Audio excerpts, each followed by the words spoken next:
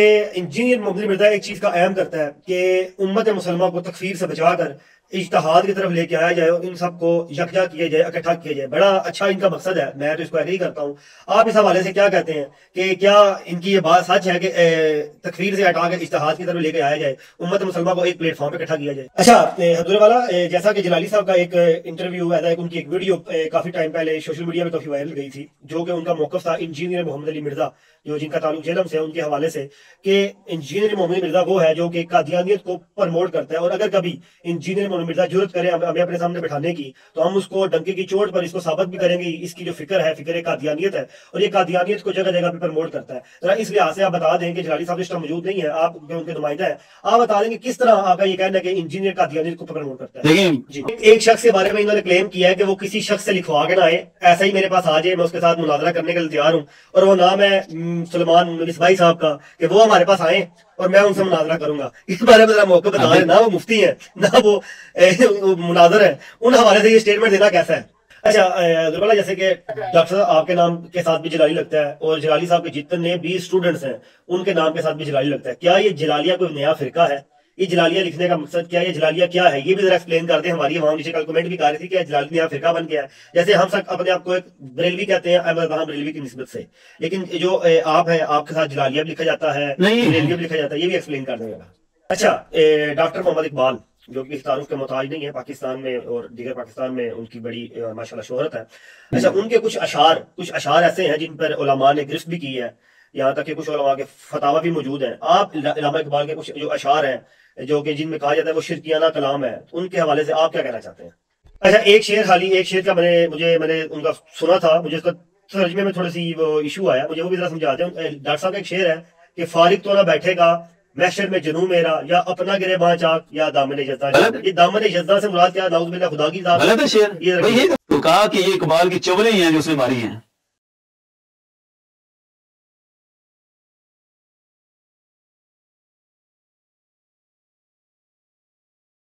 नहमद वनसली वनसलीम रसूल करीम अम्माबाद फ़ाउदबिल्लिमिनशैतरजीम बसमीम जी नाजरीन अल्लाम वरहमल वरक मैं मिर्ज़ा शाहदेब जैसा कि आप सबको मेरी कम्युनिटी पे एक पोस्ट देखी थी कि जल्दी अशरफ अली जलाली साहब से हमारी एक ब्रॉडकास्ट आने वाली है उनसे ब्रॉडकास्ट ना होने की जो वजूहत हैं वो उनकी जो तबीयत है काफ़ी नासाद है आप सबने सोशल मीडिया पे पोस्ट देखी हैं अल्लाह ताला उनको सेहत वाली ज़िंदगी अता फरमाए उनका साया हमारे सरों पर कायम रखे। उनके हवाले से उनके एक नुमाइंदा से हमारा रबता मुसलसल हो रहा था। जलाली साहब ने एक स्टेटमेंट दिए कि भाई ए, क्योंकि आप सबको पता है कि जलाली साहब ने अपना एक नुमाइंदा ओनियर किया हुआ है कि भाई अगर वो मौजूद ना हो किसी भी हवाले से उनका जो ये नुमाइंदा है वो हाज़िर होगा। यहाँ तक कि अगर कोई मुनाजरा भी करना चाहे तो मेरे इन नुमाइंदे से कर सकता है। हमारा इन नुमाइंदे से मुसलसल रबता था तो आज हम शुक्रगुजार हैं कि हमारे साथ मौजूद हैं। डॉक्टर मुफ्ती जाहिद नुमानी जलाली साहब। इनसे हम इंशाल्लाह कंट्रोवर्सल भी सवाल करेंगे। जलाली साहब की ज़िंदगी के हवाले से सवाल करेंगे। डॉक्टर साहब के हवाले से जितने भी उनके सवाल हमारे हैं वो इंशाल्लाह हम इन्हीं से करेंगे। जी असल वरहमतुल्लाह। वालेकुम अस्सलाम वरहमतुल्लाहि वबरकातुहू। जी हजूर वाला क्या हाल चाल है आपका? अल्हम्दुलिल्लाह अला कुल्ली हाल। आप सुनाए आप खैरियत से हैं जनाब? अल्हम्दुलिल्लाह अच्छा हजूर वाला आज हमारी ये ब्रॉडकास्ट करने का मकसद जलाली साहब से कुछ जो हमारे इख्तलाफात अल सुन्नत के और कुछ दीगर हजरात के चल रहे थे, उनकी मुकम्मल एज इंफॉर्मेशन और उनको हल करने के लिए हम बैठे हुए हैं। चीज़ें जो हमें कुछ और चैनल से पता लगी हैं, जलाली साहब से हमारा डायरेक्ट रबता तो नहीं था तो हमारा मेन मकसद यही है कि जो आवाम के दिलों में गुमान है, या आवाम के दिलों में जो कुछ कशमकश है जलाली साहब के हवाले से, उसको क्लियर किया जाए, इसलिए हम हाजिर हैं यहाँ पे। मुझे उम्मीद है कि इन इंशाल्लाह जलाली साहब के हवाले से हर चीज़ हमें क्लियर करेंगे। अच्छा हजूर वाला हमारा पहला सवाल जैसा कि आपको पता है, जलाली साहब ने कुछ टाइम कबल एक स्टेटमेंट रिकॉर्ड करवाई थी बाग फदक के हवाले से। खतून जन्नत जब हज़रत अबू बकर सद्दीक रज़ी अल्लाह तहों के पास बाग फदक का मसला लेके गई तो हज़रत अबू बकर सद्दीक ने एक हदीस सुनाई जिसकी, जिसको सुन के हज़रत फातमा वापस चली गई। अच्छा अब तीन किस्म के तबके मार्केट में मौजूद हैं। एक वो तबका ये है कि वो ये कहता है कि जो हज़रत अबू बकर सद्दीक कर दिया वो हक पर थे और दूसरी साइड गलती थी। और दूसरा तबका ये कहता है कि हज़रत फ़ातिमा हक पर थी, हज़रत अबू बकर गुस्ताखी पर थे नाउज़बिल्ला और तीसरा तबका ये कहता था कि दोनों हक पर थे। अगर इस असूल को समझा जाए, अगर ये कहा जाए कि हज़रत अबू बकर नाउज बिल्ला ख़ता पर थे तो अहल सुन्नत की, कसीर जमात, कसीर तादाद में वो कहती है कि आपने सहाबा की गुस्ताखी कर दी। और मैदान में आ जाती है। अगर दूसरी साइड ये असूल रखा जाए, क्या हज़रत फ़ातिमा सहाबिया नहीं? और सहाबिया से बुलंद मकाम है उनका, वो तो अहलबैत में से भी हैं। उनके बारे में कसीर आयात भी हैं और कसीर अहदीस भी हैं। और जो तीसरा तबका है, वो कहता है इजमा पर है। लेकिन जब जलाली साहब की स्टेटमेंट आई कि हज़रत खतून जन्नत हैं वो ख़ता पर है ऐसा ऐसा कोई स्टेटमेंट आई जिसकी वजह पाकिस्तान और दीगर पाकिस्तान में भी काफ़ी शोर मचा। क्या अवाम ने ये इल्ज़ाम लगाया, क्या नाउज़ बिल्ला बिन जलाली साहब नासबियत आ गई है? क्या, कैसे, क्या मामला है? ज़रा इसको भी आज बता दें और हमारी ऑडियंस को ये भी इंशाल्लाह क्लियर हो रहीम सल्लल्लाहु अलैहि हबीबिही सय्यिदना मुहम्मद वालिदैहि वसल्लम। देखिए, सबसे पहली बात जो आपने की है कि सईदा फ़ातमत ज़ारा रदी तहा को बाग फ़दक के मसला में ख़ता इश्तहादी पर करार देना तो इसमें कोई गुस्ताखी का पहलू या ऐसी बात तो ऐसा कुछ नहीं है। असल में जो इबहम डाला है ना तो वो हमारे ही कुछ भाइयों ने डाल दिया। ये पहले आप हमारा अहल सुन्नत का असूल समझ लें। अहल सुन्नत के असूलों में किसी को ख़ता इश्तहादी पर करार देना कोई गुस्ताखी नहीं है। इसमें किसी की अफजलियत या किसी के मकाम मरतबे का कोई ऐसा मसला नहीं। ख़ता इश्तहादी होती क्या है? पहले इसको आप थोड़ा सा समझ लें ख़ता इश्तहादी यह है कि बंदे ने जो अपनी राय से, कुरान और सुन्नत से जो समझा, वो अल्लाह के यहाँ जो फैसला है, उसके मुआफिक है या नहीं है? ये है ख़ता इश्तहादी का इब्तदाई मरहला। अब किसी भी शख्सियत ने, आप तो कहते ना, अहल बैत अहल बैत से बढ़कर अल्लाह के अम्बिया भी हों। अहल सुन्नत का जो मुसलमा असूल है वो तो ये है कि अम्बिया भी ख़ता इश्तिहादी से इस तरह बरी नहीं होते। यानी अम्बिया का भी मकाम मरतबा ये है कि वो अपना फेल ज़रूर करेंगे। किसी मसले में अगर उन्हें सोचना पड़ता है, इश्तिहाद करना पड़ता है, लेकिन रब के यहाँ उस फैसले का क्या हुक्म है? रब के यहाँ उन्होंने जो राय राय कायम की थी, अल्लाह रब्बुल इज़्ज़त के यहाँ उसका क्या हुक्म है? उस तक पहुँचने का कोई नबी ना मुकल्लफ है, ना कोई अहल बैत, ना कोई मुकदस हस्ती। तो अगर रब के यहाँ जो हुक्म है, उसके मुआफिक हो जाए तो वो होता है खवाब, दुरुस्त। और रब के यहाँ जो हुक्म था, उसके मुखालिफ हो जाए, और बंदा तो वैसे मुकल्लफ नहीं है। किसकी मिजाल है कि जान सके कि रब के यहाँ क्या हुक्म है? तो उसके मुआफिक ना हो तो वो होता है ख़ता इश्तिहादी। और ये बात है कि ख़ता इश्तिहादी ना ये ऐब होती है, ना ये किसी की शान में तोहन होती है। अल्लाह के अम्बिया के साथ भी ऐसा मामला होता रहा कि वो भी इश्तिहाद करते रहे। कुरान मजीद में भी मौजूद है, फ़फ़ा हमना सुलेमान, के एक फैसले में अल्लाह रब्बुल ने वाज ज़िक्र किया कि हमने हज़रत सलेमान को उसका उसका फ़हम अता फरमाया था। एक इश्तिहाद हज़रत दाऊद का था, एक हज़रत सलेमान का था, लेकिन रब की तोफ़ी है रब ने हज़रत सलेमान को दुरुस्त इश्तिहाद की तोफ़ी अता फरमाई, उन्हीं का इश्तिहाद दुरुस्त था। हदीस मुबारक में भी एक मिसाल मौजूद है, सलमान और दाऊद की इश्तिहाद की। मतलब यह है कि इंसानों में कोई बंदा इस बात का मुकल्लफ ही नहीं है, चाहे नबी हो, चाहे वली हो, चाहे मुकद्दस हस्तियाँ, जिस लेवल की भी हो, कोई मुकलफ ही नहीं है कि इश्तिहाद के मसला में वो दुरुस्त इश्तिहाद तक पहुंचेगा। ऐसा है ही नहीं। बस बंदा जो भी है, इसका जिम्मा है कि वो इश्तिहाद करे आगे रब की तोफीक है कि किस को इश्तिहाद में दुरुस्त फैसला करने की तोफीक दे और किसका इश्तिहाद दुरुस्त फैसले तक ना पहुँचे। ये इब्तदाई बात। आगे मसला रहा कि कोई सदीक अकबर रज़ी तन को ख़ता पर कहे तो फिर क्या उनकी गुस्ताखी?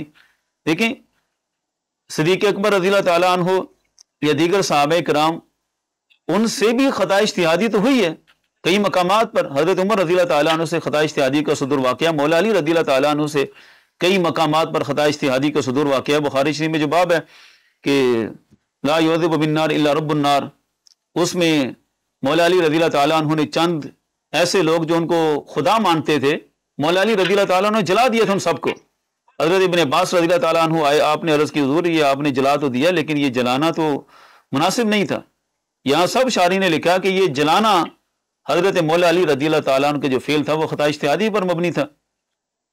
तो ऐसा तो बेशुमार हस्तियों के साथ है। लेकिन ये मखसूस जोड़ दिया गया कि सईदा फातमतजहरा रदी तहा उनसे अगर ख़ता इश्तिहादी की नस्बत हो जाए तो गुसाखी बन जाएगी। अब सब मुहदसिन ने मौला अली रज़ी तु के बारे में कई मकाम पर खता इश्तियारी का कॉल किया हुआ है। वो फहरिस्त निकालेंगे, फिर नया तवील बाब शुरू हो जाएगा। हवाले के तौर पर हमारे पास सब कुछ मौजूद है। लेकिन किसी के हक में गुस्ताखी नहीं। और तो और बाकी छोड़ें। ये बात की गई थी पीर मेरे अली शाह साहब की किताब के कॉन्टेक्स में। पीर मेरे अली शाह साहब ने तकरीबन पाँच से जायद मकाम पर यही खता का कौल तो सैद आलम सल्लल्लाहु अलैहि वसल्लम के लिए किया हुआ है। और मखसूस वाक्य में अब क्या कहेंगे? और ये सारा कुछ मैंने पेश किया हुआ है। ये गोलडमियों को चैलेंज किया था। अगर आप वो सकनी शॉट पर लगा देंगे तो लोगों को वो वीडियो भी पहुँच जाएगी। मैं आपको दे सकनी शॉट दे दूँगा उस वीडियो का। तो मतलब ये है कि आल सुन्नत के मुसलमात में ख़ता इश्तिहादी का कॉल करना कोई गुस्ताखी है ही नहीं। पहले तो ये है। तो ये बात भी याद रखें जब हम कहते हैं ना आल सुन्नत का एक मुसलम असूल इस असूल के पीछे जो है ना वो समझें कि सदियों के मुहदसिन का मुफसरीन का महक्कीन का एक निचोड़ होता है। अगर वापस बात करते हैं कि ये गुस्ताखी होती है उनके सामने भी हम बात करेंगे कुरान की रूह से रब ने तो कुरान में अपने नबी के बारे में कहा है कि हमने फैसले की जो फहम थी वो हज़रत सलेमान को दी थी। तो क्या कुरान में भी गुस्ताखी है फिर? हज़रत दाऊद की तोहिन होगी कि उनसे खता इश्तिहादी का सदूर हो गया फैसले में। तो ऐसा नहीं होता। अच्छा एक, एक और चीज़ कहा जाती है कि जी जी एक और चीज़ कहा जाती है कि नबी और पैगम्बरों के बाद जो मासूम है ये आलुलबैत भी सारे मासूम में आते हैं इनसे ख़ता नहीं हो सकती। और दूसरी जगह कहा जाता है सहाबा भी मासूम है। तो ये असूल मेरे ख्याल से नहीं अपनाना चाहिए क्योंकि वो तो मौजूद है। गलतियाँ इतिहादी इतिहादी हैं वो मौजूद हैं। पहले ये टर्मनोलॉजी की जो है ना वो अहल सुन्नत की बल्कि तमाम अहल इस्लाम की इस्लाम की जो टर्मनोलॉजी है वो मासूम का मतलब ये होता है कि गुनाहों से महफूज होना। असल में लोगों ने मासूम का माना ही गलत कर दिया। मासूम का ताल्लुक खता इश्तिहादी से है ही नहीं। देखिए अंबिया तो बिल इतफाक मासूम है। हर तबका जो भी फिरका है सब मासूम मानते हैं। लेकिन कुरान कहता है कि एक नबी से खता इश्तिहादी हुई है। अब नबी तो मासूम है। ठीक है ना? चले पीर मेरे शाह साहब की किताबों की तरफ़ बाद में आएँगे। लेकिन कुरान में तो मौजूद है ना कि फफा हमना सुलेमान के मसला का जो मसला की जो हकीकत थी, वो हज़रत सलमान सलाम ने समझी। हज़रत दाऊद उस तक नहीं पहुँच सके। तो मतलब ये है कि इसमत और मासूम होने का ताल्लुक खता इश्तियादी से है ही नहीं। वो तो ताल्लुक है गुनाहों से पाक होने का। तो अंबिया के बाद हमारा जो अकीदा है ना, कि ना अहल बैत मासूम है, ना ही सहाब कराम मासूम है। मासूम सिर्फ़ अंबिया है और ख़ातममासूमीन हमारे आका वसल्लम हैं। हमारे आका सल्लल्लाहु अलैहि वसल्लम के बाद ना कोई नबी हो सकता है ना ही कोई मासूम हो सकता है। बल्कि हमारे मुसलमात में हज़रत दाता अजवरी रहमान ने लिखा है कि इसमत शर्त नबूवत अस्त। कि मासूम होना तो नबी के होने की शर्त है। किसी को मासूम माना गोया कि नबी मानने के मुतरदिफ है। इस कदर यह पेचीदा मसला है। लिहाजा वो सारी हस्तियाँ महफूज हैं। और महफूज का मतलब यह है कि अगर उनसे कोई गुनाह सरसद होता है तो रब उन्हें तोबा और रजू की तोफीक अदा फरमाता है। उनके किसी गुनाह को रब बाकी नहीं रखेगा। बाकी खता इश्तियादी का मसला रहा इसका तो ताल्लुक नहीं है मासूम होने के साथ। हम्म, बस ये अवाम के अंदर इंतशार पसंदी के लिए कुछ क्लिप काट के कुछ और दिखाया जाता है। इसलिए हमारा ब्रॉडकास्ट का मकसद यही था कि आपसे बात करके इस चीज़ को क्लियर किया जाए क्योंकि। इंतशार पसंदी पाकिस्तान और दुनिया में बहुत ज़्यादा हो चुकी है। बस इन्होंने इतना डाल दिया ना कि कि खता इश्तिहादी को मासूम होने के मुनाफी करार दे दिया। तो महफूज हस्ती के मुनाफी करार दे दिया जबकि ये खता इश्तिहादी तो मासूम अम्बिया के भी मुनाफी नहीं है। अब हमारी हम्म। जितनी किताबें हैं जितने हमने हवाले दिए वो एक तरफ़ कुरान से ही फैसला ले लें। फफा हमना सुलेमान में कोई फैसला करके दिखाए कि हज़रत सलेमान ने खता जो इश्तिहाद किया वो दुरुस्त था और हज़रत दाऊद की इश्तिहाद को अल्लाह रबुल्ज़त ने दुरुस्त करार नहीं दिया। अब ये जो हम्म। हाँ जी आजकल जदीद फ़िक्र वाले फिरते हैं। ये क्या कहेंगे कि ये भी गुस्ताखाना आते हैं। गुस्ताखाना इबारतें निकालते निकालते ही इस पर आ जाएँगे कि आज में हो गई कि अल्लाह के नबी की। अस्तफरजीम ये इल्ज़ामी तौर पर हम समझा रहे हैं कि ये मसला है ही नहीं कि ख़ता इश्तिहादी किसी के ज़ात पर कह देना और फिर ये दावा करना कि गुस्ताखी गई ये तो फिर कुरान का फिर क्या करेंगे? कुरान ने तो एक नबी के इश्तिहाद को कहा यह दुरुस्त था। चलें, हम अपने दूसरे सवाल की तरफ़ बढ़ते हैं। जैसा कि एक पूरी बुखारी में से एक बुखारी शरीफ में हज़ारों हदीसें मौजूद हैं, लेकिन एक हदीस को काफ़ी उछाला गया है। काफ़ी मतलब यहाँ तक कि ऐसा उछाला गया है कि उस हदीस का नंबर याद कर करके, मोटरसाइकिलों के नंबर प्लेटों पे वो नंबर आ गया है। लोगों ने अपनी बोतलों पे वो नंबर लिख लिया है। लोगों ने अपने घरों के बाहर वो नंबर लिख लिया है। टू एट वन टू के नाम से एक हदीस मौजूद है। फिर तक तो फिर बागिया के, अम्मार तुझे एक बागी जमात कत्ल करेगी। जिसको मनसूब किया जाता है कुछ सहाबा पर, कुछ अशरा मुबशरा पर। यहाँ तक कि उस हदीस के अंदर अगर वो बागी का फतवा लगाते हैं तो उसमें हज़रत अम्मार है, हज़रत माविया हैं, हज़रत यासर हैं, हज़रत तला हैं, हज़रत ज़ुबैर हैं। अम्मा आयशा है। क्या नाउज़बिल्ला मिन ज़ालिक अम्मा आयशा को भी बागी कहा जाएगा? वो अम्मा आयशा जिनके बारे में कुरान कह रहा है वह अजवाज हो अम्माहात हो कि नबी की अजवाज हमारी माएँ हैं। क्या माओं को भी बागी कहा जाएगा? ठीक है कुछ मखसूस तबका है जिनके अंदर ये चीज़ पाई जाती है कि भाई साड़ी तो माँ भी शायद कोई नहीं साढ़े तो प्यो भी शायद कोई नहीं उनके लिहाज से बात नहीं हो रही। लेकिन ये हदीस को काफ़ी शाया किया गया है कि भाई सारे यहाँ पे बागी हैं। बागी का असल मतलब क्या है उर्दू लैंग्वेज में। ये भी समझा दें बागी कहाँ जाता है? क्या बागी काफर होता है? सबसे पहले तो इस बात की तरफ़ आए ना कि ये जो इतना ज़्यादा इस हदीस को उछाला गया और आप कहते जिस आप बता रहे हैं कि नंबर याद करवा के कहाँ कहाँ ये वायरल किया गया ये हदीस जो है ये क्या इस्लाम के जितने अहकाम हैं उनमें से सबसे बड़ा हुक्म यही हदीस याद करना है। कब्र में इस हदीस का सवाल होना है। ये हशर में भी इस हदीस का सवाल होना है कि ये आती थी कि नहीं आती थी, और आप या बागिया से क्या समझते थे? ये हम समझते हैं कि इस हदीस को इतना वायरल करना और इतना इसको उछालना, ये खुद एक, बजाय खुद एक साजिश है कि किसी तरह से नस्ल नो में साहब कराम के खिलाफ एक बूस भरा जाए बच्चे बच्चे की ज़ुबान पर जो है ना वो अपना ज़ोर पूरा लगा रहे हैं, लेकिन नूर खुदा है कुफर की हरकत पे खंदा जन फूकों से ये चिराग बुझाया ना जाएगा। वो तो अपना ज़ोर लगाएँगे, अपने शर का हिस्सा लेंगे, लेकिन इसमें कामयाब कभी नहीं होंगे। पहली बात यह कि इसका इतना ज़्यादा हाँ जी इसको उछालना और बच्चे बच्चे को पढ़ाने का मकसद क्या? ये कोई नमाज़ का मसला है या रोज़मर्रा ज़िंदगी का मामूल का हिस्सा है? होता है ना कोई नमाज़ का मसला है या कोई ईमानियात का मसला है। ऐसा तो कुछ भी नहीं है। बाकी रहा कि इसमें फिया भागिया का ज़िक्र है। वही बात जो आपने तकरीबन सवाल में मसला तो हल कर दिया कि अगर मौला अली रदी तु के तमाम मुखालफी को बागी करार देकर और आज जो हमारे उर्फ़ में बागी समझा जाता है ठीक है टर्मिनोलॉजी का एक फ़र्क होता है। उस पहले जमाने में लोग बागी से मफहूम समझ जाते थे। आज के जमाने में बागी से मुराद जो है ना वो वाजिबुल कत्ल और बिल्कुल बगावत करने वाला एक खद्दार के तौर पर वो लफ्ज इस्तेमाल होता है। और ये हमारे उलमा ने लिखा भी है कि पहले जो कुतुब में लिखा गया वो मामला समझते थे। मसलन इसकी एक मैं मिसाल दे देता हूँ। हमारी कुतुब में बहुत ज़्यादा मौजूद है बड़े मुहदसिन के बारे में मौजूद है कि फ़ी तशैयो हज़रत इबन शहाब जोहरी इतने बड़े मुहदस हैं मुहदस हैं उनके बारे में भी है कि वो तशैयो वाला दिन रखते थे। ठीक है सलेमान आमश इतने बड़े मुहदस हैं उनके बारे में भी है कि वो तशैयो वाला दिन रखते थे। अब तशैयो तो टर्मिनोलॉजी में तो शिया है लेकिन उस जमाने में तो जो तशैयो का लफ्ज इस्तेमाल होता था उससे मुराद होता था कि हुब अली वाले। लेकिन आज अगर तशैयो का लफ्ज इस्तेमाल होता है शिया का लफ्ज तो उसका मतलब ये नहीं है। उसका मतलब तो ये सीधे सीधे रवाफिज हैं। यानी पहले जमाने में राफसी और शिया में फ़र्क होता था। कि शिया से मुराद। फकत हुब अली वाले और ये जो आज के जमाने में शिया इनको राफसी कहते थे। लेकिन जमाने गुजरने के साथ साथ एक फ़र्क आ गया। इसी तरह ये समझ लें कि बागिया जो मुहदसिन ने जो बयान किया उसमें यही था कि वो भी निकले हक की तलाश में ही थे लेकिन उनका इश्तिहाद खता पर मबनी था। और यह सुन्नत का मुसलमान असूल है। मौला अली रदी अल्लाह ताला के खिलाफ जितने भी अपने इरादे से निकले थे, सबसे खता इश्तिहादी का सदूर हुआ, वो अपने इश्तिहाद में दुरुस्त फैसले तक ना पहुँच सके। मौला अली रदी अल्लाह ताला अन्हु अपने हर फैसले में हक पर थे। ये मसला। अब ये भी जहन में रखिएगा, जिस तरह पहले मैं बयान कर चुका हूँ, कि ये भी मुराद नहीं है कि मौला अली रदी अल्लाह ताला अन्हु का हर इश्तिहाद ही सवाब था। बुखारी शरीफ में मौला अली रदी अल्लाह ताला के इश्तिहाद का ज़िक्र है, वहाँ उनसे खता सादिर हो गई। और यहाँ जो जंगें हुई हैं, जंग जमल है, या सिफीन है, यहाँ मौला अली अल्लाह हक पर थे और उनके मुखालफिन से खता इश्तिहादी का सदूर हुआ। ये मसला।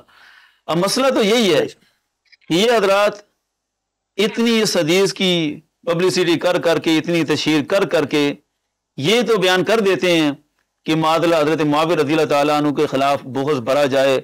ये जो मिशन है, इस पर तो चल रहे हैं, लेकिन जब एक आम सा बंदा भी पूछेगा जनाब अगर वो बागी हैं तो फिर हज़रत आयशा सिद्दीक़ा रदी ताला उम्मुल मुमिनीन कुरान की जिस आयत से अब पिछला मसला भी साथ जो ना मुतल्लक हो जाएगा कि इन्नमा युरीदुल्लाह लियुज़हिबा अन्कुम रिज्स अहलल बैत। जिस आयत से इस्तदलाल करके कहते हैं कि अहले बैत से खता का सदूर नहीं हो सकता उस आयत का अवलिन मिसदाक तो हज़रत आयशा सिद्दीका रदी अल्लाह है। वो आयत का आप कॉन्टेक्स्ट देखें सियाको सबाक देखें वो सारा तो उम्मातुलमिन के बारे में चल रहा मौजू। या निशान नबी आयात भी माशाल्लाह। सोलह नूर सोलह सूरत नूर की सोलह आयात भी हज़रत आयशा की गवाही में है। अल्लाह गवाही दे रहा है। हाँ, वो भी अपने मुकाम पर मौजूद वो जो तुम- लगी थी। ये जो खास आयत है जिसको पढ़कर ये कहते हैं कि सईदा फातिमा रदी अन्हा और, और अहले बैत से खता का सदूर नहीं हो सकता ये आयत का अव्वलीन मिसदाक मुमिनीन और तमाम अजवाज मुतहरात हैं। उसके बाद जो ना तफसीर के तौर पर नबी पाक सल्लल्लाहु अलैहि वसल्लम ने चादर तथहीर में लेकर ये आयत पढ़कर कहा का, कि ये भी शामिल है। यानी शामिल है। दूसरे मरहले में। अब मसला ये है कि अम्मा आयशा सिद्दीका रदी अल्लाह ताला फिर उनके बारे में कैसे कहा जाएगा? कि माजल्ला वो भी बागी हैं, जबकि कुरान ने उनको आयत ततहीर से पाक, साफ़ और सुथरा फरमाया है। असल में मसला यही है कि बागिया से मुराद बस यही था कि इश्तिहाद में खता वाक़ हो जाएगी। और दूसरा जो उलमा ने लिखा कि अलामा इबन अजस्कलानी ने भी इसको ज़िक्र किया, अलामा इबन बत्ताल जो बुखारी के अवलिन इशारे में से हैं, उन्होंने भी इसको कोट किया कि फिया बागियत से मुराद वो खवारिज का ग्रोह था जो अगर अगरचे तश्कील तो बाद में हुआ। लेकिन अफराद तो वही थे ना जो सिफीन में दोनों तरफ़ मौजूद थे। हम्म, बाकायदा लश्कर की सूरत में मुनजम एक जमात बनना और एक नाम हासिल करना वो तो बाद में हुआ। यार सिफीन में जो तहकीम का फैसला होता है उसके बाद ये खवारिज की जमात बन गई। लेकिन अफराद तो यही थे कातिलीन उस्मान। और बागिया कहा गया कि फिया बागिया कत्ल करेगा। तो फिया बागिया तो ऑलरेडी था। जो हज़रत उस्मान गनी रदी अल्लाह ताला अन्हु का बागी था मौला अली रदी अल्लाह ताला अन्हु के अमीर होने के बागियों को बागी कहा गया। तो पीछे जो हज़रत उस्मान गनी रदी अल्लाह के बागी हैं, वो भी तो बागी थे। तो सिफीन में असल टारगेट तो ये लोग थे, लेकिन उन्होंने हालात ऐसे बना दिए कि ये आपस में लड़ पड़े और हमारी जान छूट जाए। तो ये असल ग्रोह है, फिया बागिया जो हज़रत उस्मानी अल्लाह ताला अन्हु का कातिल था। और इसी ने फिर आगे सारी वारदातें की और दोनों तरह की रिवायात, दोनों तरह की शुरुआत हमारे मुसलमान असूलों में मौजूद हैं, बुखारी शरीफ के शारहीन में। या तो ये है कि ये ख़ता इश्तिहादी का कौल किया जाएगा कि बागिया से मुराद ये है कि उनका इश्तिहाद ख़ता पर था और वह हक पर नहीं थे। और दूसरा ये है कि बागिया अगर उस माना में लिया जाए कि जो जो हुक्म है कि बागी ग्रोह को कत्ल करना है तो वो फिया बागिया फिर कातिलीन उस्मान का था, जो दोनों जानब अपने अपने अफराद के तौर पर मौजूद था। यानी अफराद के तौर पर मौजूद था इजमाही शक्ल इन्होंने बाद में खवारिज की इख्तियार कर ली। असल ये था। और मौला अली रदी अल्लाह ताला का बिलहर छोड़ देना ये भी इस बात की तस्दीक है तहकीम के फैसले पर आ जाना कि मौला अली रदी अन्हु भी ये बागी नहीं समझते थे जो आज इन्होंने बागी बना दिया वरना तो मौला अली पर हरफ आएगा कि कुरान ने कहा कि इनसे जंग करनी है जब तक जो है वो फैसला नहीं हो जाता। तो मौला अली पर लाजिम था ना कि बागी को कत्ल करते आखिर तक जो है ना वो डट कर रहते। मौला अली रदी ताला उन्होंने बिल आहर तहकीम पर फैसला किया और वाज ऐलान किया कि कुछ भी है मेरे मेरे शोहदा और जनाब मावी अल्लाह के शोहदा सारे जन्नत में हैं। इमाम जाबी ने इसको नकल किया, कुतलाना वो कुतलाहम फिल जन्नत सबने इस बात की तस्दीक की है कि वो दोनों जन्नत में हैं। वो वो हैं जन्नत में। और बागी करो, जिस हदीस का हवाला देते हैं, उसमें तो ये है कि हज़रत मार अल्लाह ताला उनको जन्नत की तरफ़ बुलाएँगे और वो दोजख की तरफ़ बुलाएँगे। और मौला अली तस्दीक कर रहे हैं कि जनाब माविया का लश्कर और हमारा लश्कर सारे अहले जन्नत में से है। इसलिए ये मसला है ही नहीं इस तरह। जो लोग जो लोग इस हदीस को उठाते हैं उनके अपने उस्ताद शेख जुबैर जई ने जो बात आपने एक्सप्लेनेशन दी है सारी बात एक्सप्लेनेशन दे चुके हैं वो भी। उनका भी मौकफ यही है। मतलब जो शख्स इस बात को उठा रहा है हाँ। उसका अपना उस्ताद अपना शेख अपना शेख इस बात की नफी कर रहा है। नहीं जो मसला आपने समझाया सेम मसला शेख जुबैर जई अपनी किताबों में लिख कर दुनिया से गया यहाँ तक वीडियो बयान मौजूद है। असल हम अपने अगले सवाल की तरफ़ हाँ। हैं। जी। वही बात ना कि हमारा जो उसूल है ना अल्लाह के फजल से दौरे साहबा से लेकर आज तक हमारा एक तसलसल है। मिर्ज़ा इंजीनियर का ये मसला है कि वो एक मसला यहाँ से लेता है फिर दूसरा मसला किसी से लेता है तीसरा मसला किसी से लेता है। कुछ बाबी साहब से लिए कुछ इधर से लिए और कुछ मसले में ये भी गुमराह है वो भी गुमराह है। एक नया दीन ईजाद किया हुआ है जिसे कहते हैं ना वो कहीं कींट कहीं का रोड़ा भानमती ने खुम्बा जोड़ा ऐसे बस कुम्बा जोड़ लिया। बाकी ये किसी बंदे को भी ऑथेंटिकेशन नहीं दे सकता कि इसको दीन समझ आया मुझसे पहले भी। दीन समझ आया। बेशक। अच्छा अगले सवाल की तरफ़ बढ़ते हैं। जैसा कि आप जानते हैं कि अहल सुन्नत के अंदर बहुत सारे इख्तलाफात पैदा हो चुके हैं और ये इख्तलाफात हदा इल्मी नहीं रहे, ज़ातियात पर चले गए हैं। दिगर बर दिगर हम वीडियो देखते रहते हैं आती रहती हैं सोशल मीडिया पे। ज़ातियात मतलब इलमी इख्तलाफ को ज़ातियात पर लेके जाया जा रहा है। इस हवाले से जलाली साहब का मिशन क्या है? जलाली साहब ने इस पर क्या एफर्ट किया है और आप क्या पैगाम देना चाहेंगे हमारी वीडियो के तसलसल इजतहाद उम्मत पर? देखिए इतिहाद उम्मत का जो फार्मूला है, असल में हम तो उस फार्मूले पर ही लगे हुए हैं। लेकिन लोगों ने इसको रंग दे दिया जी हमारा रद्द हो गया, हमारा रद्द हो गया। इतिहाद उम्मत का फार्मूला सिर्फ़ एक ही है कि जो पिछले लिख कर गए हैं, जो पिछली सदियों में हर दौर के, हर सदी के जो मुजद्दीन थे, देखिए, एक मुजद्दिद की ज़िम्मेदारी है, हदीस मुबारक के रूह से एक वो दीन को पाक, साफ़ और सुथरा कर जाएगा। हम कहते हैं कि दीन वही रहने दिया जाए जो हर सदी से चलकर पूरी उम्मत का मुसलम असूल है और मुसलसल चलकर आया है। जो नई अख्तरात आए ना उस पर हम नहीं आने देते। अपनी कोशिश के मुताबिक, हमारी आखिर दम तक कोशिश यही है कि लोग उसी दीन को कबूल करें जो पिछले हर दौर में, हर सदी में, दुनिया के हर कूचे में, पूरे आलम इस्लाम में जो दीन चला है ना, बस वही काफ़ी है। हमारे एक बुज़ुर्ग हुए, हज़रत ख्वाजा शेख जियाउद्दीन मदनी कुतब मदीना रहमा वो एक बड़े बड़े प्रोफेसर को कहते थे कि इत्तिबा करना इख्तरा ना करना। इत्तिबा में खैर है इख्तरा में शर है। कि जो दीन मुसलसल चल कर आया ना उसी की इतवा करना। नया कोई मज़हब ना करना अब देखें ना जिस बंदे का आपने नाम लिया वो नई नई तहकीकत करता है फिर वो थोड़ी देर बाद को उसको नज़र आता है कि उसका ये उस्ताद भी मुखालिफ था उसका ये उस्ताद भी मुखालिफ था।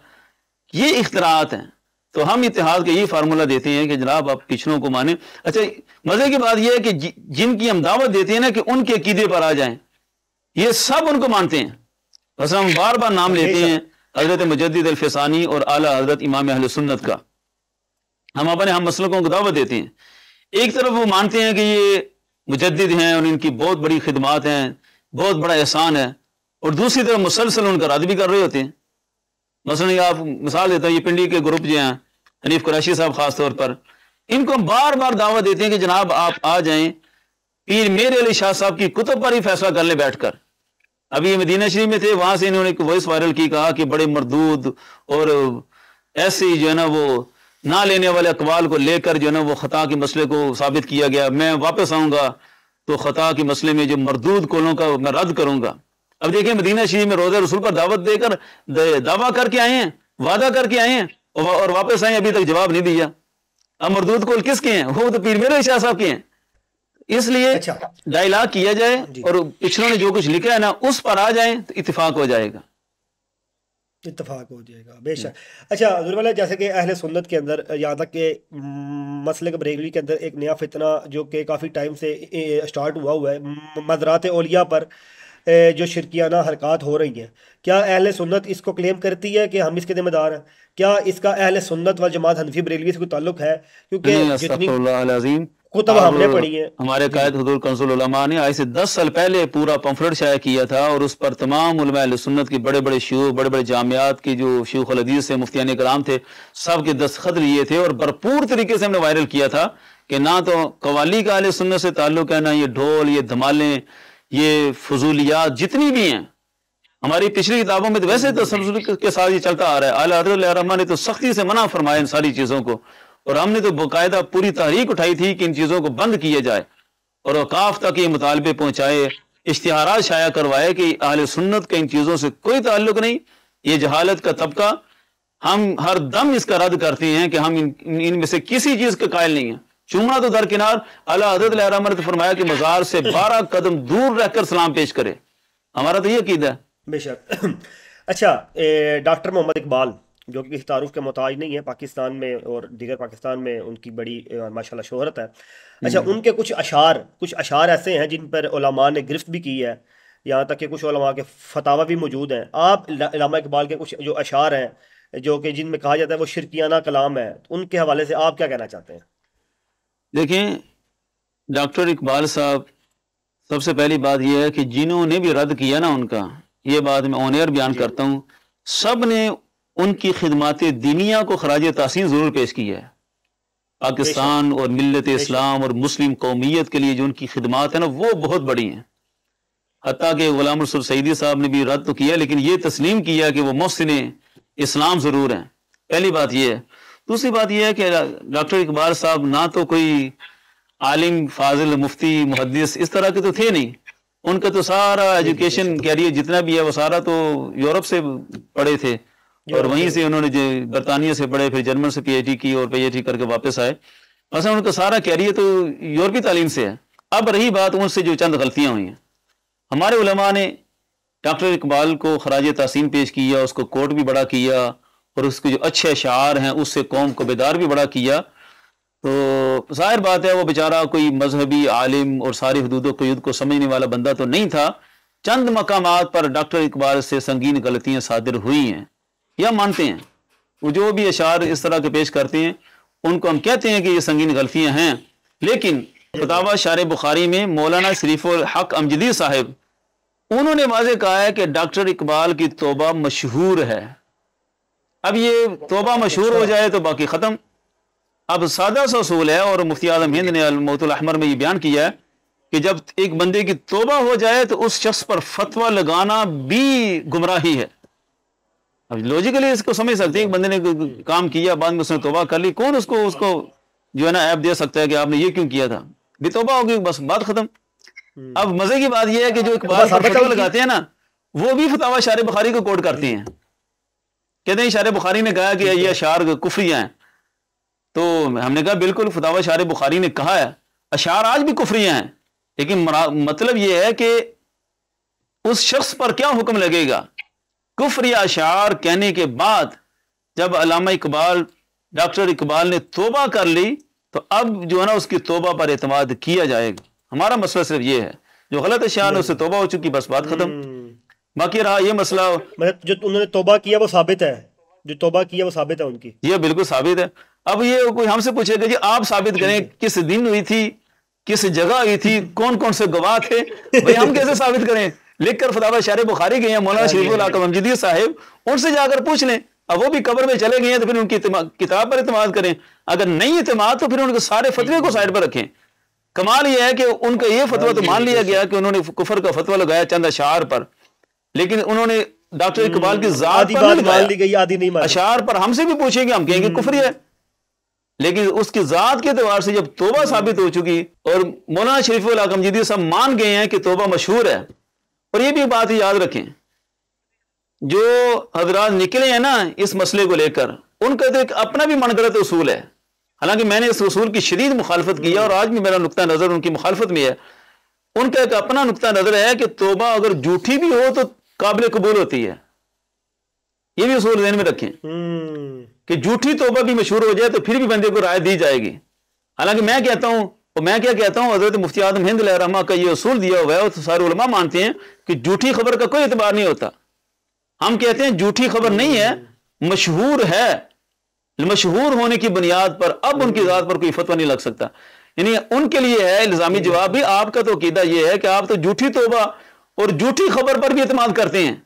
फिर क्या मसला है कि इकबाल के मसले में आप झूठी खबर पर भी इतमाद करने के लिए तैयार नहीं है? उनके नज़दीक हमारे नज़दीक तो मशहूर है, बस बात खत्म।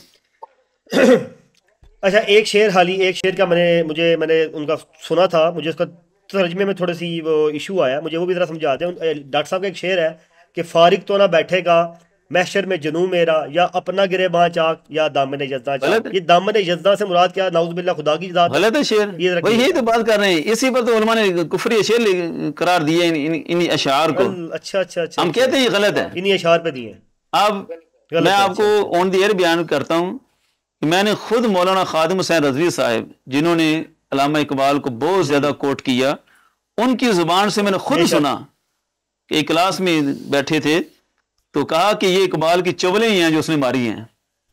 अंदाज़ा लगाए। अच्छा।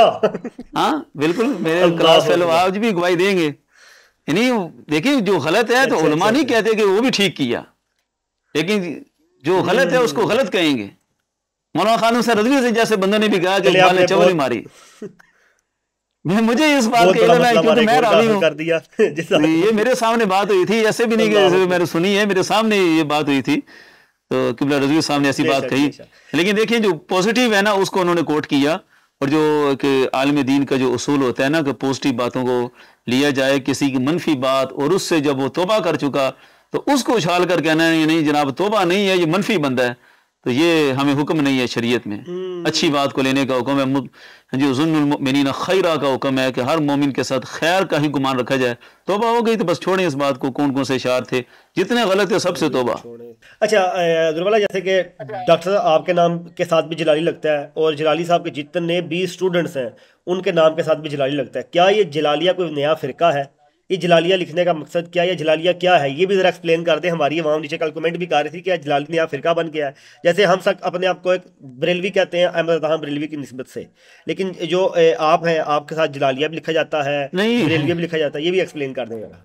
नहीं जलाली पहले समझे कि हम हज़रत पीर सैयद जलालुद्दीन शाह साहब जो बिकी शरीफ में एक अजीम शेख अच्छा। तरीकत थे और समझे कि पाकिस्तान में मुहदस वही थे जिन्हें कुतुब सिहा सारी ज़ुबानी याद थी। चार साल की उम्र में नबीना होने के बावजूद उन्होंने सारा दरस नज़ामी सारी हदीस की कुतुब सुन सुन कर ज़ुबानी याद की। और सब कुछ उन्हें ज़ुबानी याद था इस ज़माने के वो मुहद्दिस थे। तो उनकी नस्बत से जलाली कहा जाता है सब हजरात को। हमारे किबला डॉक्टर साहब भी उन्हीं से मुरीद हैं। तो उनकी नस्बत से हम सब हजरात जलाली हैं। पहली तो यह बात दूसरी बात कि कही कि ये फ़िरका है फ़िरका नहीं है। ये अहले सुन्नत की समझे कि बातिल के मुकाबले में एक नई शनाख्त है।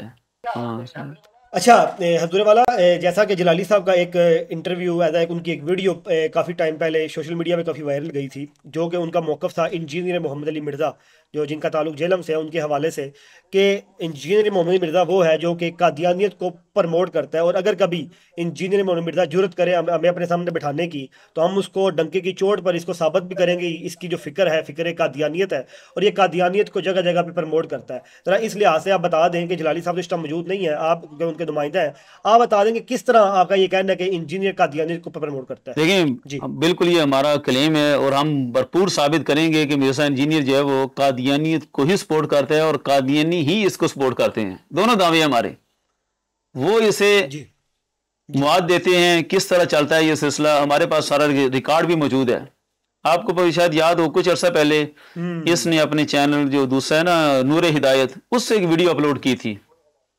नूर हिदायत। तो उसमें जो ना किबरा जलाली साहब की स्टेटमेंट को लेकर कि जो शख्स भी कश्फ इल्हाम का दावा करे तो रब से रबते का दावा करे अगर अगरचे नबी होने का दावा ना भी करे वो भी दावा नबूवत के मुतरदीफ है। उसमें सारे ओलिया कराम को लाकर फिर आखिर में इसने अपना तबसरा किया। यानी सब ओलिया कराम ने जो कश्फ इल्हाम के दावे किए आखिर में इसने तबसरा किया कि आपने कादियानी को ही काफिर क्यों करार दिया? जाओ धरना दियो जनाब फतवा लाओ इन सारे बाबिया दे माजल्ला। बड़ी बदतमीजी से। और हकीकत ये है हमारे पास वो वीडियो मौजूद हाँ है। जब कभी ये मेला सजेगा हम पेश करेंगे कि वो वीडियो असल में कादियानी चैनल से अपलोड हुई थी। और आखिरी जो तबसरा था वो कादियानी बच्चे का था। उसका जो उस तबसरे को हटाकर मिर्ज़ा ने अपने चैनल से वीडियो अपलोड की इनूर हिदायत जो साथ चैनल लगाए इसके चैनल के साथ ही। उसमें कादियानी का तबसरा हटाकर खुद वहाँ बैठ गया कादियानी की तर्जमानी करने के लिए। हमारे पास असल वीडियो मौजूद है और कादियानी के चैनल फिर कमाल देखे कि कादियानी ने वो चैनल से अपनी वीडियो हटा दी। हमारा एक लड़का था उसके पास सारा रिकॉर्ड मौजूद था। हमने भी देखी है वो वीडियो हमने भी देखी है। हमने भी देखी है हमने भी देखी है। इसमें भी उसने दावा किया कि कादियानी को क्यों का, का, क्यों काफिर करार देते हैं सबको काफिर करार दें। और ये बार बार एक टर्म इस्तेमाल करता है कि जनाब ये जितनी भी खत्म नबूवत के नाम पर तहरीकी हैं ये खत्म नबूवत के नाम पर नहीं है सिर्फ़ एंटी कादियानी है एक मखसूस फिरके के मुखालिफ हैं लेकिन खत्म नबूवत की नहीं है। उसमें भी इसी का दावा इसका यही दावा छुपा हुआ है कि इसका जो क्लेम है कि जो शख्स भी कश्फ और इल्हाम का दावा करता है पहले उसे करार दिया जाए और बाद में कादियानी को काफिर करार दिया जाए। वे कश्फ इल्हाम के दावों पर हम आ जाएँ काफिर करार देने पर। इसकी ख्वाहिश के मुताबिक फिर तो सबसे पहले तो इमाम बुखारी को काफिर करार दें। उनका भी दावा इल्हाम का है। उन्होंने भी कहा कि मैंने जो बुखारी से लिखी इमाम जाबी ने लिखा है कि इमाम बुखारी फरमाते मैं तो छोटा था तो मुझे इल्हाम हुआ था कि मैं हदीस की तरफ़ लग जाऊँ। इल्हाम की बुनियाद पर ये बुखारी से जमा हुई है। अकबर। अब ये मुहदसिन के बारे में ये बातें नहीं कोट करता। ओलिया कराम के इल्हामात को ले आता है। अब देखें मैंने इसकी चंद बयान सुनी इल्हाम के मसले में। इसने खुद माना है कि हिंदुस्तान में एक हज़ार साल तक जितना भी इस्लाम आया ना सब कशफ इल्हाम मानता था। तो एक हज़ार साल के मुसलमान यहाँ से भी कहते फारिग किए जाए। फिर एक ये तो हिंदुस्तान का हो गया ना, पूरे आलम का इस्लाम जहाँ से चला, हज़रत उमर रज़ी से लेकर आज तक सारे तो अल्लाह के वली साहब इल्हाम है। और ये दावा करता है कि कादियानियों को काफिर बाद में करार दें, पहले इनको काफिर करार दें। इस तरह बड़ी खामोश वारदात से उनको जो है ना वो सपोर्ट कर जाता है। अभी पिछले दिनों एक इंटरव्यू दे रहा था, उसमें भी कह रहा था, जनाब कादिया ने जो कुछ लिया वो तो हज़रत मुजद अल्फसानी के मुकदमा से लिया था। वो जो एक सहाफ़ी के नाम साथ बैठा हुआ था वहाँ भी इसने इकबाल के बारे में कुछ बातें की थी, पता नहीं कौन सा सहाफ़ी है। तो वहाँ भी कह रहा था कि मिर्ज़ा कादियानी ने जो बातें की हैं, वो तो सारी उसने हज़रत मजद अल्फसानी के मकतबात से ली हैं। यानी अटैक वो हज़रत मजद अल्फसानी को कर रहा था, लेकिन बड़े तरीके से वारदात करके कह रहा था कि उसका क्या कसूर है मिर्ज़ा कादियानी का? उसने तो सब कुछ वहाँ से लिया है। यहाँ सफ़रल्ला ऐसा कुछ नहीं है, वो सब उसका झूठ है। मकर और फरेब के सिवा कुछ भी नहीं है। अच्छा वो ये कहता है कि ये जो कादियानी है ये अदा हनफी में से हैं हनफियों में से आए हैं और कहता है ये कादियानी एक फ़िरका है। तो इस बारे में बता दें क्या ये फ़िरका है? हम तो इसको कादियानी को काफर समझते हैं। इसको इतने इस्लाम का फ़िरका कह देखिए जी हनफियों में से होना या सुनियों में से होना अगर वो ये दावा करते हैं ना कभी तो वो कहता है बरेलवियों का एक फ़िरका है। हम्म, जी जी। ये भी दावा करता है। जी जी बरेलवियों कहते हैं कि ये जितने भी फिरके आए हैं ना सब बाद में पहले सारे सुन्नी थे। ये हमारी फतह है। फतह है अल्हम्दुलिल्लाह पहले हम सब हम हक पर हैं जो मुसलसल दिन का चल कर आया वो हमारा था और ये निकल गए। हम्म। ये तो हमारी फतह है कि ये निकल गए। और हमने अगर हमारा था अगर वो हमारे खाते में डालता है तो उसका सबसे बड़ा रद्द भी तो हमारे बंदों ने किया। हमारे पीर मेरे हम्म। निशा साहब थे जिन्होंने उसको लताड़ा और हर मुकाम पर उसको शिकस्त दी उसको भगाया। और हमारे ही निशाम नूरानी साहब थे जिन्होंने असम्बली में उसको काफिर करार दिलवाया। हमारे ही बंदे थे जिन्होंने उसको काफिर करार दिया। तो इसलिए ये फिरका नहीं है इसने तो इस्लाम के जो बुनियादी असूल थे उसको हिला कर रख दिया। ये एक अलग से मज़हब था जो अंग्रेज़ों की ईजाद है और अलामा इकबाल ने इस पर बड़े तबसरे किए कि ये तो था ही अंग्रेज़ों की ईजाद कि किसी तरीके से इस्लाम से जिहाद का तस्वुर ख़त्म हो जाए। और उसके लिए नया मज़हब ईजाद किया गया कि मुसलमान जो है कि नए मज़हब में चले जाएँ और पुरानी तालीमत सब छोड़ दें। हम्म। अच्छा हजूर वाला, अब हमारे आखिरी दो सवाल और हम अपने वाइंड अप की तरफ़ लौटते हैं कि इंजीनियर मोहम्मद मिर्ज़ा एक चीज़ का अहम करता है कि उम्मत मुसलमान को तकफीर से बचा कर इजतहाद की तरफ़ लेके आया जाए और इन सबको यकजा किया जाए, इकट्ठा किया जाए। बड़ा अच्छा इनका मकसद है, मैं तो इसको एग्री करता हूँ। आप इस हवाले से क्या कहते हैं कि क्या इनकी ये बात सच है कि तकफीर से हटा के इजतहाद की तरफ़ लेके आया जाए, उम्मत मुसलमा को एक प्लेटफॉर्म पर इकट्ठा किया जाए? देखिए, मिर्ज़ा इंजीनियर दावा तो करता है कि तकफीर ना की जाए। ना लेकिन उसका अपना आलम यह है और मैं आपके सामने दावा करने लगा और मैं पूरे दलाइल से साबित करूँगा कि पूरी इस्लाम की तारीख में इतनी बड़ी तकफीर किसी ने नहीं की जितनी मिर्ज़ा ने की है। बेशक। यानी कि जितने भी तकफीर करने वाले ने उन्होंने अपने ज़माने के लोगों को कहा कि ये भटक गए जिनके बारे में मुकम्मल तहकीकत हुई, उनके बारे में तो कहा कि ये राय हक से हट गए। अभी जो कशफ इल्हाम का मसला है ना, इसमें तो मिर्ज़ा ने तकफीर शुरू ही हज़रत हसन बसरी से की है। और हज़रत राब बसरी से शुरू होकर जिनका नाम लिया, साहबा कराम को तो डरते में नाम नहीं लेता। आज तक के तमाम और कराम को कहता है कि ये भी कादियानियों की तरह काफिर हैं। बल्कि कहते हैं आप, उनसे भी माजला बदतर है। तकफीर का मसला और ये कराम के हक में कि मज़ा कादियानी तो लानते ले रहे हैं तो ये फिर भी रहमत है कई उसके स्टेटमेंट इस तरह के मौजूद हैं। तो हम्म। बाकी तो फिर भी अपने जमाने के लोगों को ईमान की तरफ़ दावत देते हुए कुफर से बजा रहे थे। ये ऐसा बंदा है कि ये तो इस्लाम की चौदह सदियों की मुस्लिम कौम और सारे मुसलमानों की तकफीर पर तुला हुआ है। बेशक। तो ये कैसे दावा कर सकता है? मैं तकफीर नहीं करता। ये तो सबसे बड़ी मतलब तकफीर खुद करता है। उम्मत को कह रहा है तकफीर नहीं करनी। उम्मत को कह रहा है तकफीर नहीं करनी और खुद सबसे ज़्यादा तकफीर कर रहा है। खुद सबसे ज़्यादा करता है। जितनी और कराम की तकफीर करते हैं अल्लाह माफ़ी दे खुदा माफ़ फरमाए और कराम की तकफीर के पीछे तो पूरी उम्मत खड़ी है। उम्मत खड़ी है। हज़रत गौसे आज़म रज़ी आलम के बारे में उसी नूर हिदायत चैनल पर इसकी क्लिप अपलोड है। क्या गौसे आज़म कादियानी नहीं थे? उसके नीचे यही वो कश्मीर हाम के मसले से छेड़े हुए माजल्ला अगर हज़रत गौसे आज़म रज़ी तालन को मादला ये काफिर करार देता है तो उनके पीछे तो पूरी उम्मत खड़ी है। उम्मत खड़ी है तो सारी उम्मत कैसे बचेगी? कैसे बचे यानी उनको मुश्किल कुशा या उनको हाजिर रवा मानना तो अलग मसला है लेकिन उनकी ताजीम और तकरीम और उनकी मुकाम और मरतबे में तो किसी को इख्तलाफ नहीं है। इबन तैमिया जैसे मान गए कि वो बहुत बड़े इस्लाम के मोहसिन है। सबने तस्लीम की है। और ये कहता है माजला वो भी काफिर। ये सबसे बड़ी तकफीर तो ये खुद करता है। दूसरी बात इतिहाद की इतिहाद का यही फार्मूला जो हमने पहले कहा वो इतिहाद का फार्मूला कुरान ने दिया है।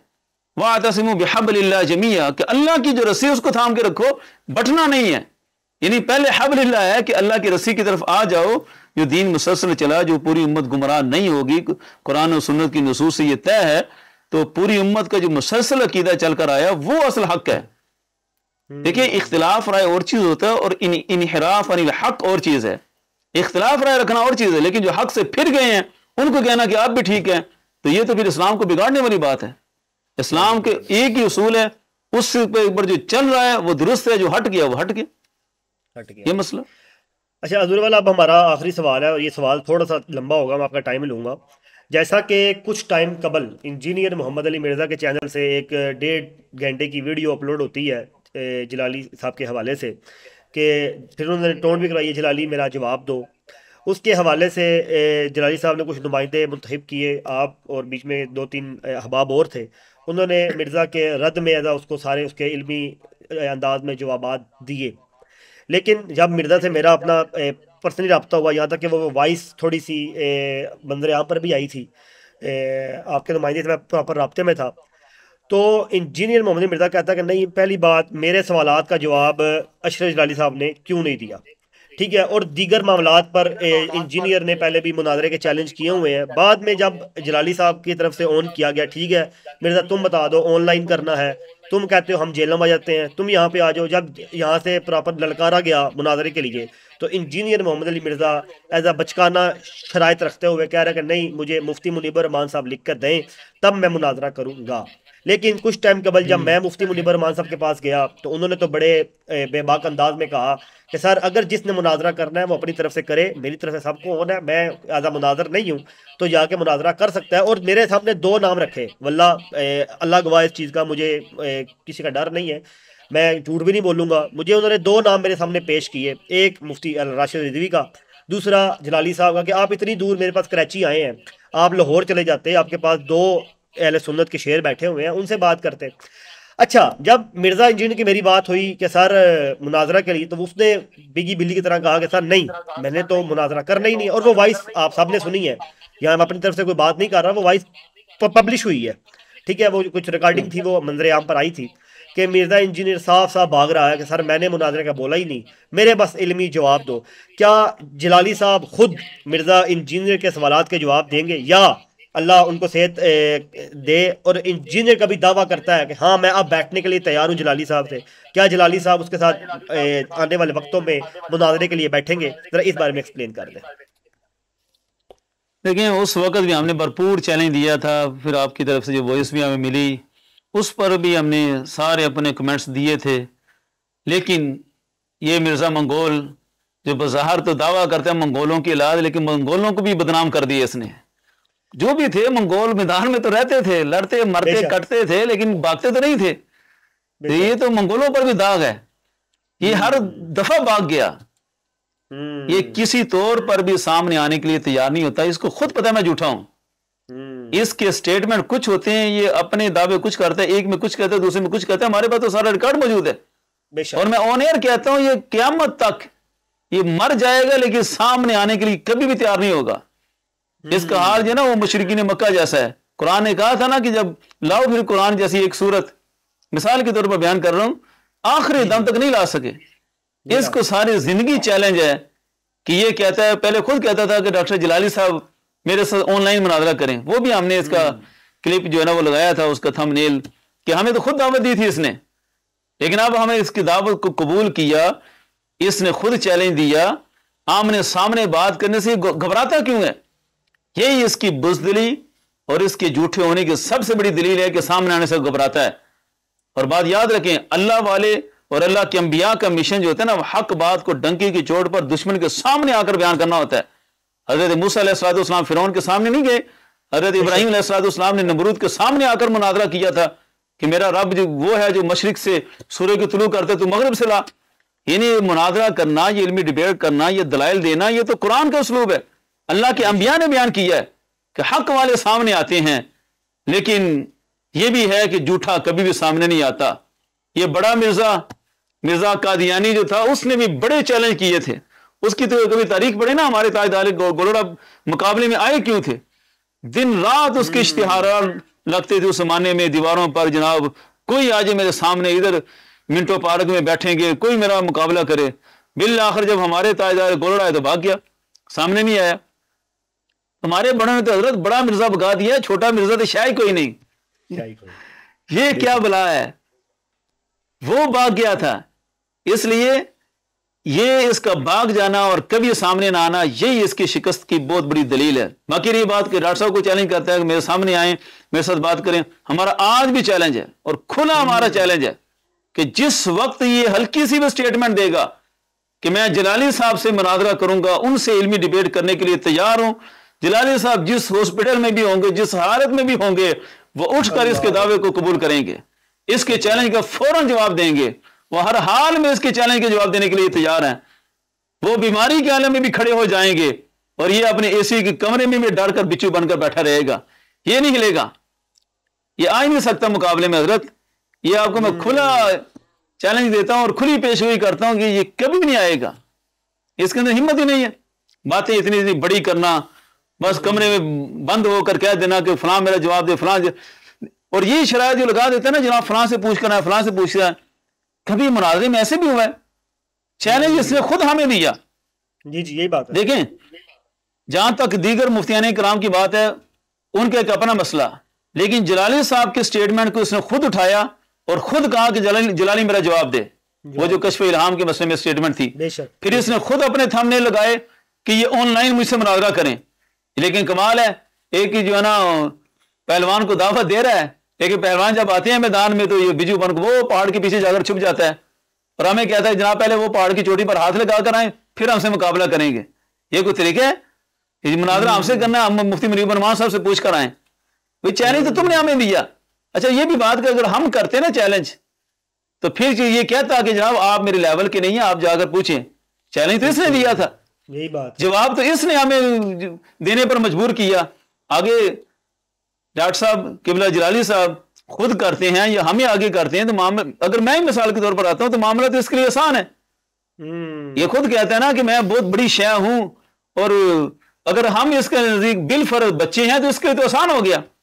इतना आसान टारगेट भी लेने के लिए जो तैयार ना हो तो उससे बंदा तो रखे कि इतने इतने बड़े दावों पर पूरा उतरेगा ये कभी नहीं उतर सकता। ये मर जाएगा लेकिन कभी भी किसी आलम अहले सुन्नत के सामने नहीं आएगा। अच्छा एक एक शख्स के बारे में इन्होंने क्लेम किया है कि वो किसी शख्स से लिखवा के ना आए। ऐसा ही मेरे पास आ जाए मैं उसके साथ मुनाजरा करने के लिए तैयार हूँ। और वो नाम है सलमान मिसबाई साहब का कि वो हमारे पास आए और मैं उनसे मुनाजरा करूँगा। इस बारे में ज़रा मौके बता रहे हैं। ना वो मुफ्ती हैं ना वो, ए, वो मुनाजर हैं। उन हवाले से ये स्टेटमेंट देना कैसा है? वही ना ये सॉफ्ट टारगेट लेना चाहते हैं। और जहाँ इसको पता है कि, कि इसकी मंजी ठुक जानी है वहाँ से भाग जाता है। वहाँ क्यों नहीं कहता? कि जहाँ सलमान साहब मिसबाही साहब मुफ्ती मनीबर मार साहब से लिखवा कर लाए तो फिर उनसे बात होगी। वहाँ नहीं कहता। वो हमारे दरवेश सिफत बंदे हैं।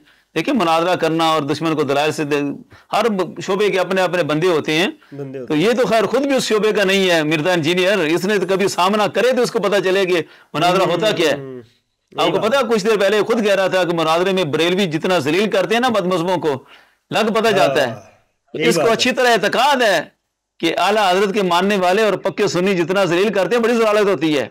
ये ऐलान कर रहा था यार मैं जलील नहीं होना चाहता और जलालत बड़ी होती है। तो ये इसकी तरफ़ से खुद ऐलान है। यहाँ तक ये कह था कि अगर मेरे बड़े उस्ताद मेरे डॉक्टर इसार या मौलाना इसाक अगर बरेलवियों के सामने बैठे हैं तो ये उनका जवाब दे सकते हैं मुँह अड़ के बैठ जाएँगे। इतनी इतनी बड़ी स्टेटमेंट मौजूद है इनकी कि बरेलवी इतना सख्त मुनाजरा करते हैं ऐसी ऐसी हाँ, हदीस साहब मैं इसी के बाबे साहब को इसके सामने खड़ा करूँ तो वीडियो लगाऊँ तो ये मुँह अड़ के बह जाए। हम्म, सही बात है। बाबे साहब ने जो औरिया कराम को खराज तहसीन पेश किया है उसके खिलाफ हमारा अपनी जगह लेकिन बायद बुस्तामी लहरामा का जो मकाम मरतबा बाबे साहब ने बयान किया हज़रत शेख इबन अरबी का जो बयान किया ये तो एक लम्हे के ही तस्लीम करने के लिए तैयार नहीं है। ये तो दिन रात इन औरिया कराम को गालियाँ देता है। गालियाँ देता है। ये खुद बाबे साहब के सामने बैठ सकता है। अपना तो बयान करे। कायनात में एक बंदा भी नहीं है कि जो इसके नज़दीक पूरा उतरता हो कि जिसको दीन की समझ लगी है। ये कैसा दीन मंगोल है कि जो चौदह सदियों में एक बंदे को भी समझ नहीं आया और जेलम के कुचे में बैठकर एक बंदे को समझ आ गया। और वो भी कि जिसको बुनियादियात नहीं पता। कि बाब इसहाक ने ताजीर नास में जो स्टेटमेंट थी खत्म नबूत के मसले में बाब इसहाक ने उस स्टेटमेंट को इस्लाम कहा है और ये कहता है कि वो कुफर है। इस्लाम का। ये नहीं मानता है इस बात को ही कुफर है। हम भी मानते हैं कुफर है हमारा तो पूरा इतकाद है इस पर। मतलब ये कि बाबा इसहाक और ये दोनों आपस में कितने मतजाद हैं। दर्जनों मसाइल हैं जिसमें ये आपस में टकरा जाएँगे। तो ये इसलिए किसी को भी नहीं मान सकता है इसको कोई भी मुर्शिद नहीं है किसी भी मसले में। जी जजाकमुल्ला खैरा। जी डॉक्टर साहब आपसे बात करके बहुत अच्छा लगा और काफ़ी हमारे जो अख्तलाफात थे वो आपने क्लियर किए। मैं लास्ट में इंजीनियर मोहम्मद मिर्ज़ा के मौक़ पे एक बात करना चाहूँगा। इंजीनियर साहब अगर आप समझते हैं कि आप उम्मत को उम्मत की तकफीर नहीं करते हो इतिहाद करते हैं और नबियों की थोड़ी सी सिफत आप, आपको अल्लाह ने दी है तो नबियों की ये मेन सिफत है कि जब वो ए, बुरा वक्त आए तो खुद मैदान में आते हैं। यहाँ तक रसूलुल्लाह जब उन्होंने ऐलान किया तो वो हाली गार हिरा की गार के अंदर बैठ के ऐलान नहीं किया। मैदान में आए, यहाँ तक कि कूफे में जाके पत्थर भी खाए। हज़रत इब्राहीम ने आग नमरूद की आग में छलांगे भी मारी और यहाँ तक कि हज़रत इब्राहिम से लेकर हज़रत मूसा तक, हज़रत मूसा को यहाँ तक धमकियाँ मिली गई फ़िरौन की तरफ़ से। इज़क़ाल फ़िरौन ज़ुरून अक्तुल मूसा। यहाँ तक कि उन्होंने वो धमकियाँ भी देखी। तो आप अगर कहते हैं कि आप हक पर हैं तो आप मैदान में आए। आप मैदान में आके आप डिबेट कर लें डिबेट नहीं कर सकते, आप मुबासा रख लें मुकालमा रख लें, कुछ भी करें मैदान में तो आए। आप अपने कमरे से बाहर निकलने के लिए तैयार ही नहीं है। हम तो यही कहते हैं, अगर आप कहते हैं कि भाई मैं नबियों के मिशन पर हूँ तो आप आए मैदान में और जलाली साहब के साथ बैठे चले, आप कहते हैं, मैं जलाली साहब के स्टूडेंट के साथ बैठने के लिए तैयार नहीं हूँ। इनकी तरफ़ से पूरी आपको ऑफ़र कराई गई है कि ठीक है, जलाली साहब जिस भी हालत में है, वो आपके साथ बैठने के लिए तैयार है। जो आपका मेन दावा था कि मुफ्ती मुनीबर रहमान साहब लिख कर दें, वो भी उन्होंने क्लियर शीट दे दी है कि भाई जिसने जाना है चले जाए, और उन्होंने अल्लाह के इज़्ज़त की कसम दो नाम में मुझे सजेस्ट किए हैं, एक जलाली साहब का और एक डॉक्टर एक डॉक्टर जलाली साहब का और एक मुफ्ती राशिद साहब का। आप किसी के साथ भी बैठ जाए। हम हम तो अहल सुन्नत को मनज को हम करें आप किसी मुफ्ती के साथ बैठने के लिए तैयार हो, हमें कोई डर नहीं है, कोई शक नहीं है। अल्हम्दुलिल्लाह, जो घबराता वही है, जो डरता हो। तो अपना आप मर्द होना साबित करें और मैदान में आए। ये क्या बात हुई? घर बैठ के वीडियो वीडियो खेलना, ये वीडियो वीडियो खेलना मर्दों का काम नहीं है। अब तो मुफ्ती मुनीबर रहमान साहब की तरफ़ से भी क्लियर शीट दे दी गई है, जलानी साहब की तरफ़ से भी आपको ऐलान कर दिया गया है। तो गुजारिश ही आपसे कि आप आ जाएँ। डॉक्टर साहब, मैं आपका बड़ा मशहूर हूँ कि आपने अपना जो टाइम है हमें दिया। यहाँ तक कि जलाली साहब की जो इस्टम सेहत है, वो भी बड़ी नासाद है। आपका वहाँ होना ज़रूरी था, लेकिन आपने अपने इस आज उनका ऑपरेशन भी है, सुनने में आया है। तो आप वो टाइम निकाल के हमारे पास आए हैं। जजाकुमुल्ला खैरा। अल्लाह आपको इस्तकामत दे और अल्लाह हमारी ऑडियंस को भी हक और सच जानने की तोफ़ीक अता फरमाए। लास्ट में इंशाल्लाह हमें उम्मीद है कि जलाली साहब को अल्लाह जल्द से जल्द इंशाल्लाह सेहत वाली ज़िंदगी अता फरमाएगा और मैं इंशाल्लाह दिसंबर में जब पाकिस्तान आऊँगा मुझे उम्मीद है कि इंशाल्लाह हम आमने सामने बैठ के कुछ सवाल रखेंगे। जजाकुमुल्ला खैरा। बहुत शुक्रिया जनाब।